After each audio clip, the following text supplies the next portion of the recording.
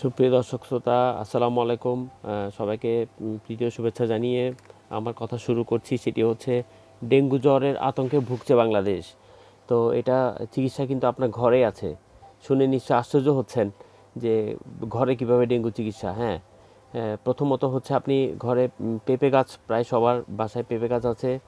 আর যাদের নেই তারা পেঁপে পাতা কালেক্ট করবেন। কালেক্ট করে সেই পেঁপে পাতা পেস্ট করে অর্থাৎ পিষে আপনি রোগীকে প্রতিদিন এক গ্লাস, দুই গ্লাস যদ্দূর সম্ভব রোগীকে খাওয়ান। দেখবেন একদিনের মধ্যে ডেঙ্গু জ্বর কমে আসবে এবং একটি নিরাপদ একটা লেভেলে চলে আসবে। তো এই সেই সাথে ডাক্তার পরামর্শ নেবেন এবং প্রচুর তরল জাতীয় খাবার পানি জাতীয় যা আছে এগুলো রোগীকে খেতে হবে।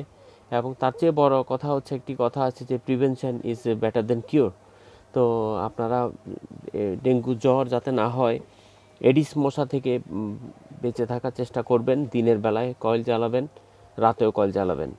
এবং সম্ভব হলে মশারি টেকে ঘুমাবেন, প্লাস অ্যারোসল স্প্রে করবেন নিজের ঘরে।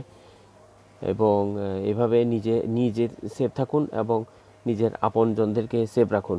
কারণ ডেঙ্গু জ্বরের কোনো আসলে এখনও পর্যন্ত ওষুধ বের হয়নি।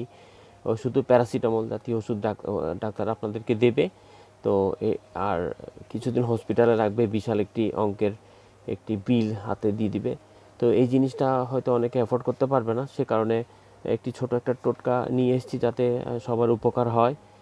এটা একটা হেলথ টিপ এই ছোটো টোটকা চিকিৎসার মাধ্যমে যদি আপনি ফিফটি পার্সেন্ট ভালো হতে পারেন কিংবা আমি আশা করছি যে পেঁপের রস খাওয়ার পরে আপনি আশ্চর্যজনকভাবে সেটা রেজাল্ট আপনি পাবেন। তো পেঁপের রস পিষে আপনি রোগীকে খাওয়াতে শুরু করুন। বাচ্চা হলে এক চামচ, দুই চামচ করে খাওয়ান। বড় হলে জোর করে খাইয়ে দেন। তো দেখবেন যে রোগী ভালো হয়ে যাবে।